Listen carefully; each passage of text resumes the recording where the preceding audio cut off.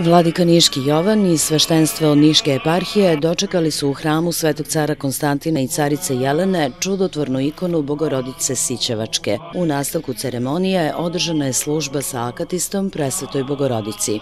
Protojerej Svetislav Petrović rekao je da je čudotvorna ikona presvete Bogorodice jedna od najvećih svetinja koje se čuvaju u Niškoj eparhiji. Stara je više od 100 godina i u Sićevački manastir došla je preko ruskih monaha posle oktobarske revolucije. Čudotvornom se smatra zbog svoje isceliteljske moći.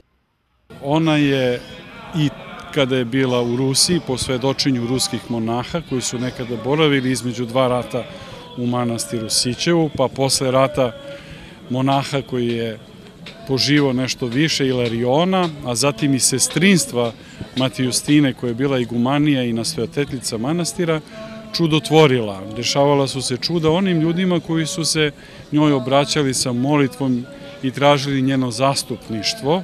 Pomagala je po svedočenju Matijustine onim ljudima koji su imali glavobolju, ženama koje su bile nerotkinje i mnogim znanim i neznanim hrišćanima, pravoslavcima i ljudima koji su i sa verom pristupali.